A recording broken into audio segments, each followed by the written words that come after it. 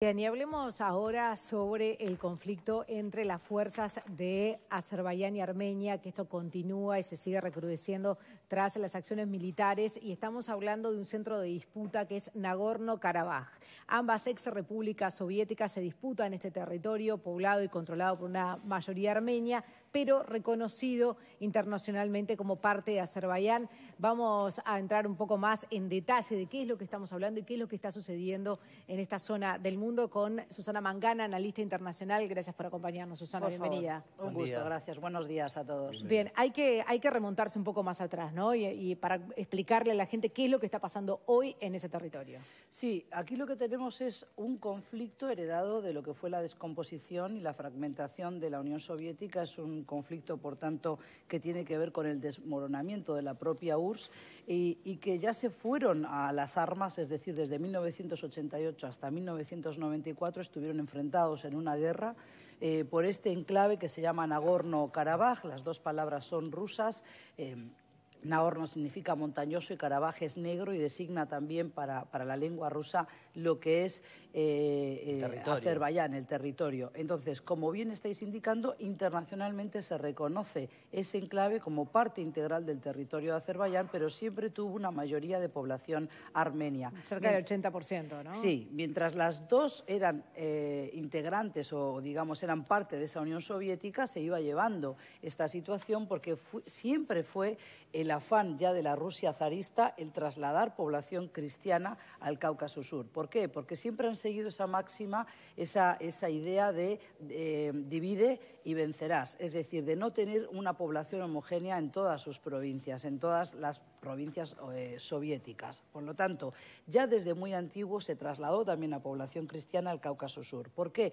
Porque los dos países, hoy repúblicas independientes, soberanas, están enclavadas en ese pasillo que es el Cáucaso Sur, que es eh, o atesora grandes riquezas, pero sobre todo es un corredor de gas natural para los mercados mundiales. ¿Se trasladó en realidad la comunidad armenia estaba allí desde hace cientos de años. Obviamente, recordemos que el cristianismo nace en Armenia, por tanto hay población armenia distribuida por todo el Cáucaso. Pero tenemos que entender que aquí no se trata de dar la razón a uno o a otro, sino que internacionalmente se reconoce al enclave como parte de Azerbaiyán, pero también tenemos que hablar de una política que hoy se llama no imperialista, que no hay que confundirlo con el irredentismo. Es decir, ambos países entienden que tienen derecho a luchar por ese enclave porque para Armenia tiene allí población armenia y por tanto tiene que defender los intereses de su población y para Azerbaiyán es un enclave que si bien siempre tuvo interés y veleidades separatistas, ya desde el 88, fines del 80 podemos decir, el Parlamento de esa región autónoma, porque también ya desde 1923 aproximadamente eh, se consideró esa zona como un oblast, es decir, una región autónoma. ¿Por qué? Por esta misma máxima de no tener toda una población homogénea y de esa manera poder controlar a todos. de hecho, de las veleidades, funciona hoy, es, funciona como un país que nadie reconoce, pero funciona como un país autónomo. Es un Estado de facto. Es un Exactamente, es un Estado de facto y ya desde fines de los 80 el Parlamento de esa región autónoma de Azerbaiyán, que era Nagorno-Karabaj, votó a favor de ser ellos independientes de Azerbaiyán y unirse a Armenia. Por supuesto, Armenia lo aprobó, pero no así Azerbaiyán. Pero luego también en, medio de esa guerra fueron un plebiscito, ¿no? Un plebiscito en el cual ellos votaron que querían ser y decidieron ser eh, independientes. Y luego quieren ser independientes. Primero querían integrarse a Armenia y después ser independientes. Pero como tú bien has dicho, la comunidad internacional y los miembros del Consejo de Seguridad de Naciones Unidas, entre ellos la propia Rusia o Francia, eh, ¿verdad? No reconocen. No lo reconocen ni siquiera Armenia tampoco. Claro. Como país independiente tampoco. Exactamente, exacto. Y eso es parte de todo este conflicto. parte, y te iba a decir porque hay un tema también religioso, que por un lado los armenios, estamos hablando que son cristianos y en Azerbaiyán son musulmanes. Exactamente. Pero si bien el factor religioso juega un rol muy importante, no van a la, ningún pueblo va a la guerra por religión. Es el arma sigo haciendo las diferencias entre un, lado y el otro. Claro. Y Azerbaiyán eh, cuenta con el apoyo de Turquía y Armenia con el, apoyo de los rusos. De los rusos. Obviamente que hay una empatía, que hay una corriente cultural religiosa sobre todo que los hermana tanto a los rusos, que de mayoría son ortodoxos cristianos, junto con los armenios, ¿sí? Pero ah, también Turquía, al ser una república laica, pero una república musulmana, siente también eh, esa, esa hermandad con Azerbaiyán, pero aquí lo que tenemos que denunciar, si acaso, es el gran juego geopolítico tanto de Rusia como Turquía y en un momento como el actual bueno, en el eso que te iba a preguntar. Los, los, el enfrentamiento bélico se está, se está volviendo más fuerte y no, no, era, no, no habían registrado estos índices de violencia desde la década de 1990. ¿Qué responsabilidad ¿Por qué? ¿Qué, ¿Qué, fue lo que detonó, digamos, eh, los sí. enfrentamientos de estos ¿Qué últimos se juega días? cada uno? ¿Y, Claro. qué, y qué responsabilidad se le puede atribuir a Rusia y a Turquía en este enfrentamiento? en este Muchísima. Yo creo que justamente tenemos que entender en qué momento de la historia estamos y de la coyuntura regional. Tenemos una Turquía y una Rusia que están cooperando más allá de sus fronteras, con una Rusia envalentonada tras lo que ha sido el éxito y la victoria, si acaso, de- del presidente Putin en la guerra de Siria. Fue el gran ganador de esa guerra de Siria, una guerra sin fin que no ha terminado, por más que ya no hablemos de ella. Y hoy están cooperando, por ejemplo, en el conflicto de Libia, muy lejos de sus fronteras naturales y en un enclave geoestratégico muy importante como ha sido siempre y sigue siendo el Mediterráneo. Pero es que además también Turquía tiene un presidente como Erdogan que tiene ese afán, justamente esto que yo quería explicar del irredentismo, que es considerar un territorio como propio por más que pertenezca a los límites territoriales de otra nación. ¿Por qué? Porque Turquía también fue un imperio, el imperio otomano, durante eh, siete largos siglos, con lo cual Erdogan también quiere extender sus tentáculos en toda esa región y por eso está presente también actuando en el conflicto de Siria, pero también en el conflicto de Libia y allí coopera con Rusia. Con lo cual, es- esta es una situación muy ambivalente, muy extraña. Rusia apoya a los armenios, eh, pero al mismo tiempo está colaborando con Turquía y ambos están intentando interceder y mediar en este repunte del conflicto bélico que, como tú decías, está registrando eh, unos niveles de violencia, porque ya es un conflicto bélico superior inclusive a- al 2016, cuando se dio esa guerra llamada de los cuatro días. Con lo cual, tenemos que entender este gran juego geoestratégico de un Putin y un Erdogan que están extendiendo esos tentáculos, toda vez que además tenemos a un Estados Unidos distraído en la campaña electoral y la carrera presidencial de Trump, con un presidente como Trump, además, que se ha ido retirando, eh, no totalmente, pero sí retirando a Estados Unidos de la escena geopolítica de Oriente Medio. Por y hay un debilitamiento del multilateralismo muy claro, y entonces esto lo están aprovechando presidentes que quieren jugar y apostar fuerte, como son Putin y Erdogan.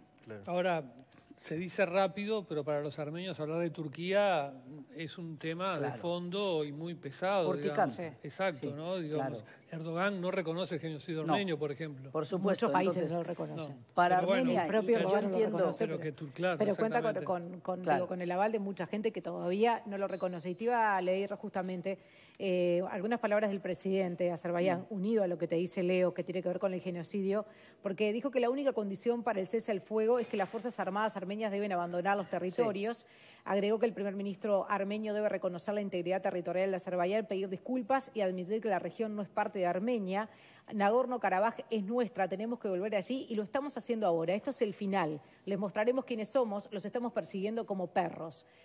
¿Esto es la posibilidad de un segundo genocidio? Bueno, a ver, eh, yo, yo no quiero ir tan lejos porque quisiera creer que la comunidad internacional va a despertar de su sopor. Es decir, ya dijimos antes que Rusia y Turquía están mediando. De alguna manera van a tener que desescalar esta tensión porque recordemos que, entre otras cosas, Turquía es miembro de pleno derecho de la OTAN. Con lo cual hay ahí una bisagra que todavía no se ha utilizado, pero hay manera de presionar también eh, a la propia Turquía. Pero antes tú decías, y no hay que dejarlo pasar, el genocidio pesa y mucho, y sobre todo en la diáspora armenia que ve esa amenaza de los turcos que nunca reconocieron el genocidio de 1915, un millón y medio de personas asesinadas o conducidas a su muerte segura, pero eh, que además evidentemente les duele mucho todo lo que está pasando en Armenia porque la saben más débil militarmente que Azerbaiyán. También yo creo que no hay que confundir los dichos de un lado y de otro porque aquí también hay una guerra de propaganda.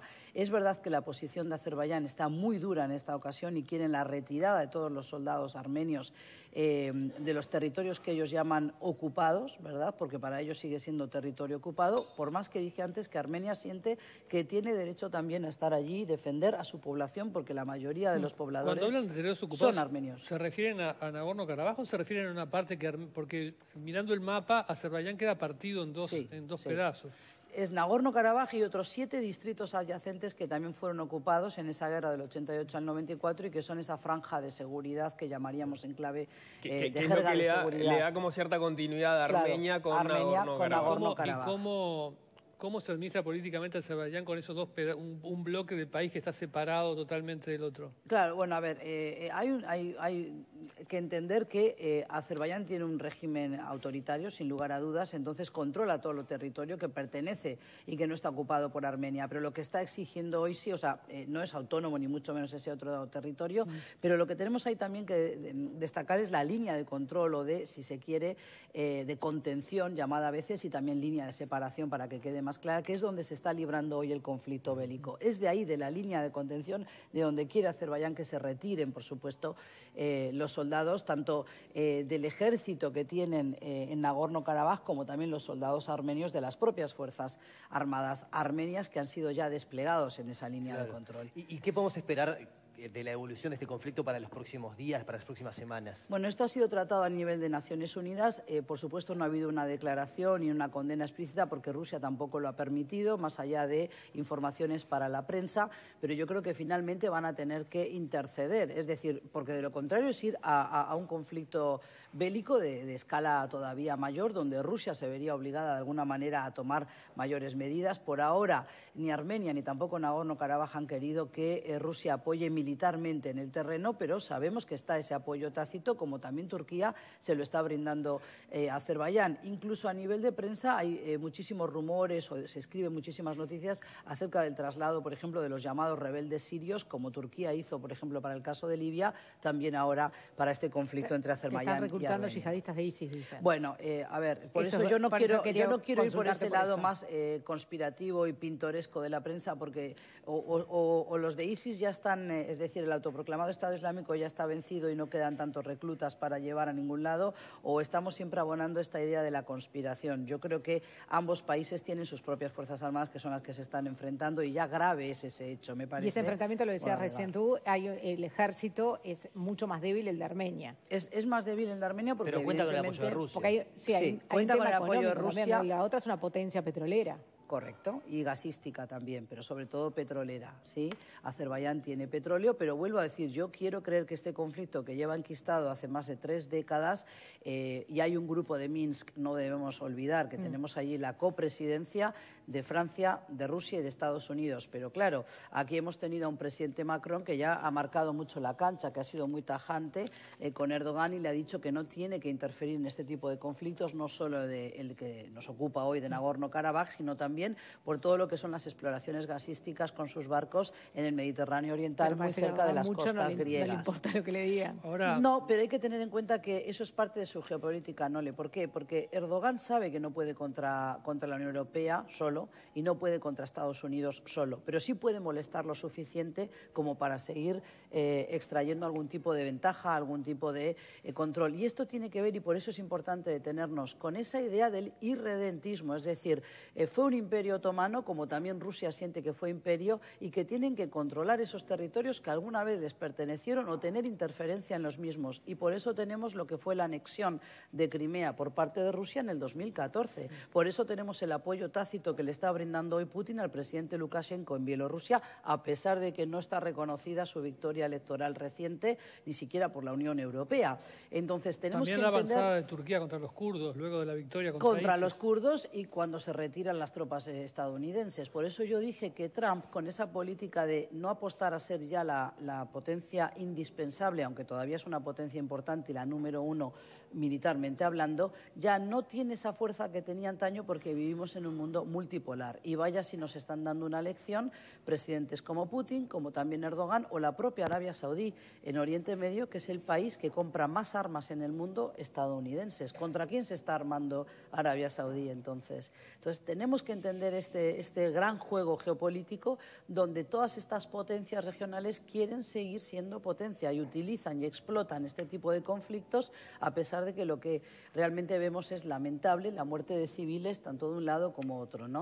Y eso es lo que hay que lamentar, la muerte de personas que no quieren estar en ese conflicto y que hoy ven sus vidas totalmente truncadas eh, por este nuevo repunte bélico entre Armenia y Azerbaiyán. ¿Erdogan puso la Fuerza Aérea Turca en la guerra?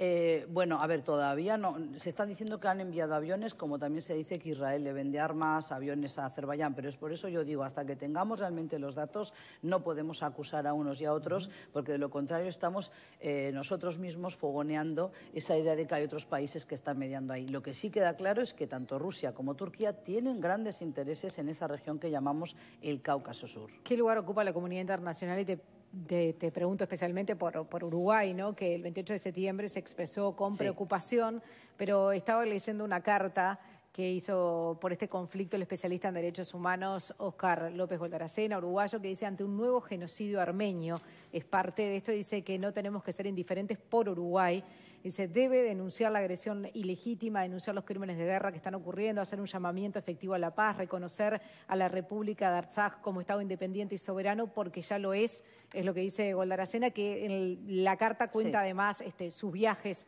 a Nagorno-Karabaj. Bien, eh, Uruguay a través de su Cancillería ya se ha expedido, como tú has dicho, pidiendo el cese al fuego inmediato y, de alguna manera, eh, sumándose a las voces de otros países que buscan ese cese al fuego. No deja de ser un lenguaje diplomático y que queda después librado a la buena voluntad de ambos países para sentarse a una mesa de negociación que por ahora y en estos momentos no está pasando. Pero respecto al reconocimiento que pide Goldaracena, eso lo va a tener que decidir el Ministerio de Relaciones Exteriores y por ahora, hasta donde yo sé, siempre se han sumado a la idea de que debe haber una solución consensuada, dialogada y, sobre todo, teniendo en cuenta las voces de los países que están compresidiendo ese grupo de Minsk, como dije antes, Rusia, Francia, eh, y el propio Estados Unidos. O sea, abonan la idea de que la solución debe ser también amparada en los acuerdos de Minsk, que es la capital de Bielorrusia, que eso se trabajó y se firmó en 1992 como parte de ese cese al fuego que luego llegó en 1994. Hasta donde yo sé, esa es la posición oficial eh, de la República Oriental del Uruguay, que mantiene buenas relaciones con ambos países, si bien son de más larga data con Armenia y tenemos una fuerte presencia de un colectivo armenio eh, en Uruguay, no así del colectivo azerí, por más que hay una embajada abierta desde hace algunos años de Azerbaiyán. ¿Qué, tiene que darse, para cerrar, qué tiene que darse para que se genere esa mesa de negociación? ¿Ya hay alguna condición arriba de la mesa o todavía no está ni siquiera? Lo dijo antes, ¿no? Le, Azerbaiyán lo que está pidiendo es la retirada de todos los soldados armenios. si eso no sucede, no habría Claro, por ahora esa es la posición de ellos que dicen, hemos estado 30 años intentando negociar. Por supuesto, aquí están las dos visiones. Los azeríes sienten que la agresión vino del lado armenio y que ellos fueron los que iniciaron el 27 de septiembre pasado este nuevo repunte del conflicto bélico y Armenia entiende que fueron atacados sus civiles y sus ciudades y localidades y por tanto la muerte de esos civiles se debe a la agresión planificada, dicen ellos, de Azerbaiyán. Pero por eso nosotros en los medios creo que no tenemos que estar dando la razón a uno y a otro porque las, las noticias son confusas y no sabemos nosotros no, queremos quién la primera situación que para muchos quizás es, muy lejana y cuesta, cuesta entenderlo. Pero la capital ha sido bombardeada que tiene población en Armenia, ¿no? Claro. Por. Y también tenemos, sí, y también tenemos ciudades como la de Ganja, la segunda ciudad azerí más importante en Azerbaiyán, que también ha recibido impactos ¿no? de misiles, no sé si son misiles o buses, eso habrá que ver bien la jerga militar después que nos dice. Pero vuelvo a decir, había que entre todos eh, abonar esa idea de que la, comunidad internacional, a través de los organismos multilaterales, entre ellos Naciones Unidas, tienen que buscar una manera de, por lo menos, eh, declarar un cese al fuego inmediato y después sí ver qué calendario de negociaciones pueden tener. Las posiciones están muy enquistadas, lo han estado durante los últimos sí, pero con lo que estás diciendo es declarar un cese al fuego, con lo que propone Azerbaiyán, si, si no cesa el fuego y no retira a, sus militares armenios, ellos no van a parar. eso es lo que dicen. Otra cosa es que luego puedan seguir yendo a, más y más combate, porque como dije antes, también Armenia no va a estar sola. Tiene a Rusia, pero también va a haber una comunidad internacional que, en, caso de que Azerbaiyán, digamos, si hubiera una voluntad de Armenia de sentarse a, una mesa de negociación y Azerbaiyán lo rechaza, el que queda fuera de, juego, el que queda más en la mira de la comunidad internacional es Azerbaiyán. No hay que confundir dichos y condiciones, porque entonces ningún conflicto se resolvería. Y siempre, mientras hay vida, hay capacidad de, poder dialogar y hay maneras de presionar a uno y a otro. Por eso digo, hay organismos multilaterales que no, tienen pero la solución es la misma. O sea, eh, lo que me estás diciendo es que es difícil que venga del lado de Azerbaiyán, sino que del lado de Armenia propongan un diálogo. No, no, no, yo no dije eso. Lo que digo es que ambos países están enquistados en sus posiciones. Armenia no quiere retirar a sus tropas tampoco porque entiende que tiene que estar allí defendiendo a su población armenia y Azerbaiyán dice nos hemos cansado eh, de esperar una negociación, vamos a, porque nosotros nos estamos defendiendo y en todo caso es un territorio ocupado por los armenios. Y aquí entonces si estamos dando la razón a uno y a otro nunca vamos a solucionar nada. Tenemos que buscar que la comunidad internacional, a través de sus canales ya existentes, trabaje. ¿Y ya no lo hizo hace años? No, porque fíjate que, por ejemplo, tenemos esta situación eh, que hay que exigir más, es decir, tanto a Rusia como a Turquía. Y no olvidemos que hay otros países también en la región que están haciendo su juego y que se están frotando las manos mientras estos otros dos van al conflicto bélico. Hemos dicho Turquía, hemos dicho Rusia, y con ellos también hay que trabajar. Pero claro, tenemos a un Estados Unidos que está sumamente ocupado en la campaña presidencial y también afectado por lo que es la pandemia. Que no nos olvidemos que esta pandemia distrae mucho la atención en manera geopolítica de países importantes, por ejemplo, de la Unión Europea, que si bien no tienen una buena política de seguridad, una política exterior agresiva como la tiene Estados Unidos, a nivel diplomático todavía cuentan esas voces. Pero claro, están todos demasiado enfrascados en cómo resolver la situación interna producto de la pandemia.